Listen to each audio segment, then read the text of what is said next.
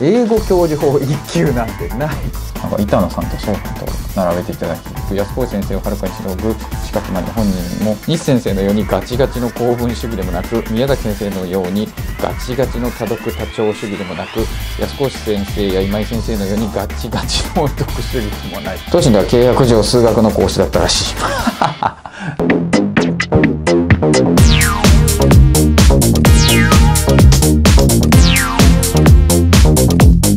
Hello では始まりました。森哲チャンネルです。今回はですね、えー、森哲、ウィキペディアに載ったので、チェックしてみたっていうやつです。はい。ウィキペディアに書いてある内容が果たして正しいのか、チェックしていきたいと思いますね。あとは、当信のやつに載ってるんで、まあ、元講師のなんですけど、今は載ってるんで、そこをね、ちょっとチェックしていこうかなと思いますね。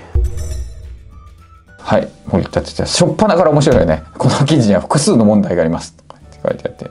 出典が全くありません。存命人物の記事は特に検証可能性を満たしている必要があります。これが4月。大幻想合的な記述になっています。オーバーってこと？独自研究が含まれている恐れがあります。独立記事作成の目安を満たしていないかの恐れがあります広告宣伝活動で中立的な観点で書き直す必要がありますっていうのが2020年4月の段階ですね。いいこと書いてくれてたってことなんですかね。えー、もう一回哲也日本の教育者とか呼ばれてる。なんかすごい。予備高校師動画配信者 YouTuber であるとか。まあまあまあそうですね。予備高校指導後配信者はそうですね。教育者とまで言えるか分かんないですが人物人物なんで四角で囲む、はい、で神奈川県横浜市出身愛称は森つ慶應義塾大学文学部を卒業後東京大学大学院言語学修士課程修了。そうこれまあめちゃめちゃ長いんですからね。東京大学大学院の後ろ。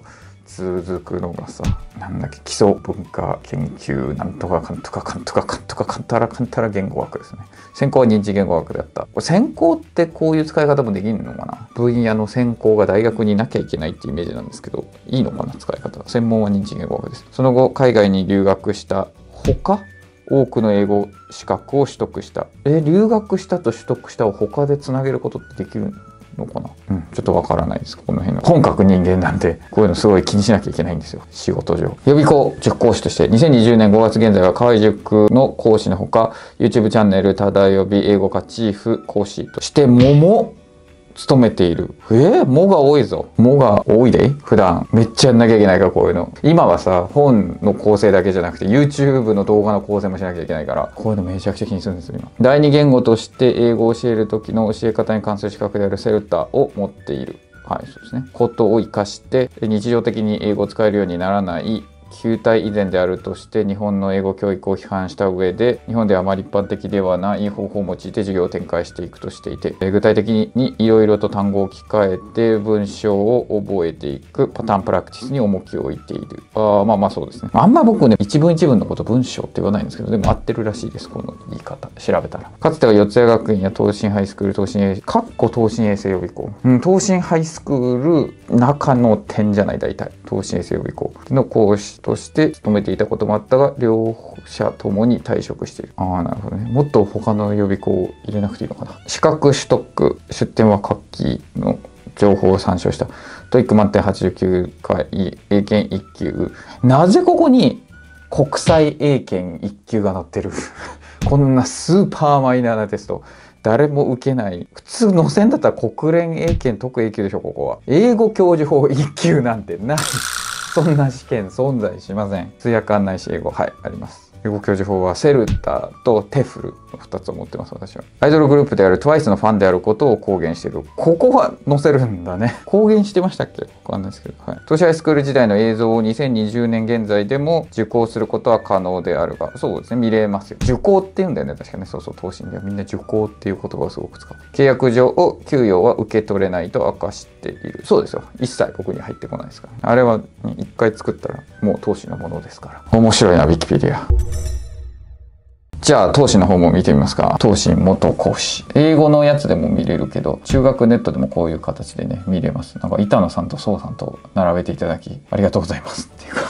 見ていきますね。人物、横浜市出身、慶応、あ、同じですね。慶応義塾で大学院、専攻日芸ここに書いてあったんだ。留学なさった。現在、忠指講師。あ、ここに書いてある。えー、忠指のことも書いてあるんだ、投資の方に。河合塾と掛け持ち。実は古文の吉野先生の元教え子。実は隠すほどのことでもないけどな。 TOEIC 対策書など著者多数。過去問演習講座では東京医科歯科大の英語を担当している。医科歯科だけじゃないっしょ。最初受け継いだのが、だからみんながやりたくないっていう医科歯科大と SFC だよね。で、あと慶応の法か。この4つだよね。4つ受け持ってその後で慶応文が加わって早稲田の法？この6つかな？あんま覚えてないけど、えー、 TOEIC 990.89回2020年2月9日現在。こっちいっぱい書いてあるんじゃない？国連特 A 通訳案内士 TOEIC Speaking Writing そうですね。各200点満点、うん、 TOEIC Bridge 全国一。全国一っていうかまあ全問正解すりゃ全国一ですからね、うん、簡単だからね。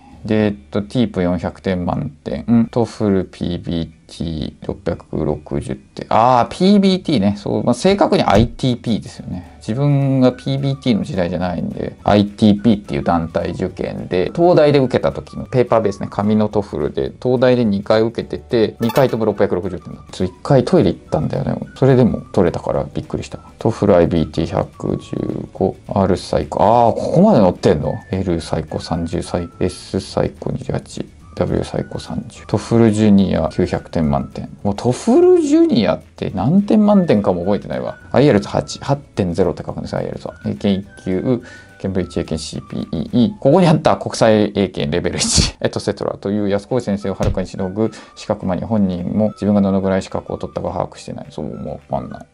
そう安越先生ねそういっぱい資格持ってるからね。韓国語のそうそうトピックのね1級持っててそうトピック1級ってね一番下なんですよ。そう。安越先生1級なんだ一番下なんだけどねっていうのをねネタにしてんですけど当時の生徒たちめっちゃ韓国語のもうエキスパートだと思ってる人多い。前にね高校で先生たちに教え方の授業をやりに行った時に帰りのバスの中でそう東進講師のね批判みたいなのが始まっちゃって後ろで。安越先生韓国語の検定も1級らしいうわめっちゃすげえじゃんみたいなね話してて。うおこのくだりはこういう風に伝わるのねって思った。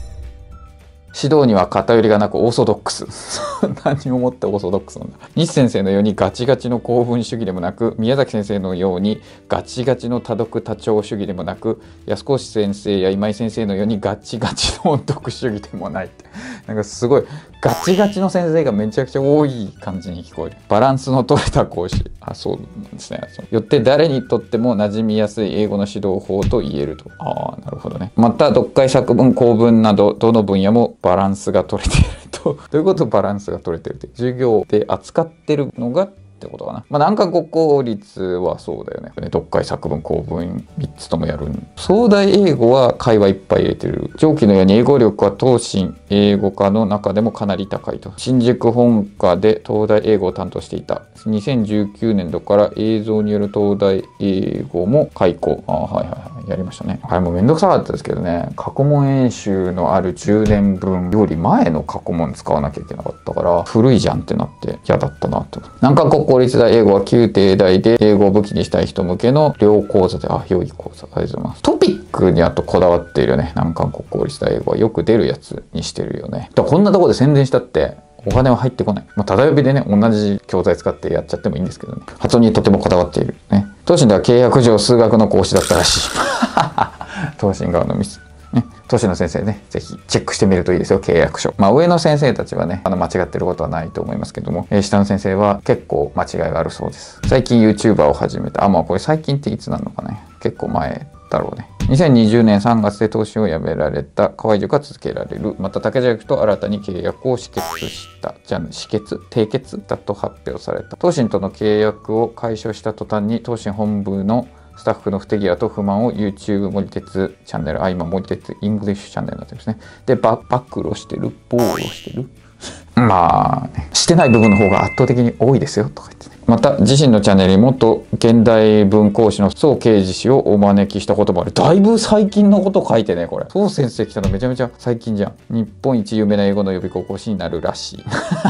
なんかすごい、なるらしいみたいなね。言っちゃってるよ、みたいな。まあ、これね、6月から始まるプロジェクト次第です。YouTube チャンネル、ただよびで授業をすることが4月1日に発表された。よって当時の三田先生の講座を取るのは待った方がいいかもしれない。扱う問題はね、徐々に被っていくと思いますよ。話す内容とかはやっぱ被っちゃうから、小技みたいなのは講師が持つネタみたいなのは、うん、被ると思います。特にまあ、ただ読みの方が新しく取ってるから、新しい技がいっぱい、改良された技をたくさん見ることができると思います。すごい、講座とかで知ってる東大対策英語、難関国公立大学、英語4技能、スピーキング3、ああ、あったね。ライティング4、本科東大、ああ、浪人生のやつ取ったやつね。壮大英語、発音アクセント、通期中間講習。なんかよくわかんないね。講習っつうのがあるんだよね。これね。夏休み版みたいなやつね。なんか国公立英語。記述力訓練編。記述型答案練習講座。あ、答練とかっていうやつだっけ。東大対策英語要約。なんか国公立大英語。大学対策講座。東大英語。段落正常文法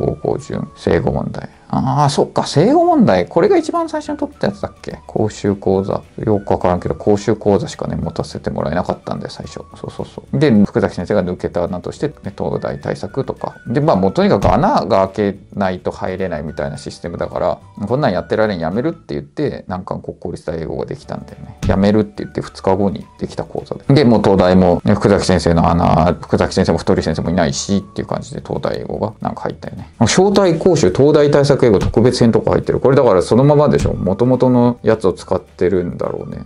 それ招待講習用に取りたいって言ったんだけど、結局全然いいみたいな感じで進まなかったよね。ってことは、だから、すでにあるのを流してるだけでしょ、これ。話すための発音アクセント。ああ、全然話すためじゃないですよ。発音アクセントの講座の方が話すために近いと思う。発音アクセントのやつがセンター試験の避けたやつで、で、招待講習の方はセンター試験の過去問になってるってだけ。扱ってる問題が違うだけです。基本的には同じようなことを言ってる。単元ジャンル別。そうよ、これ単元ジャンル別、そう10分で取ってくださいって言われたからさ、ちゃんと全部10分でやったのにさ、そうそう、YouTuber ですからね、時間の感覚がすごいあるんですよ。別に昔から そう、授業そうです。時間の感覚があるんで、そうやったらさ、結構いろんな先生バラバラなんだよね、時間ね。10分でって言われたから、ぴったり10分にしてね。10分00ではないと思うけど、全部10分台になってる、必ず。すごいね、ここまで調べてくれてるんですね。で、ウィキペディアよりもすごいな。これ、東進ウィキの方のクオリティの高さがすごい。まあ当然そっか、この主観はやっぱ入っちゃうもんなんだね。結構面白かったです。はい。ということで、様々な裏話が見れたと思います。はい。作ってくれた方、ありがとうございます。はい。ご視聴ありがとうございました。Thank you for watching.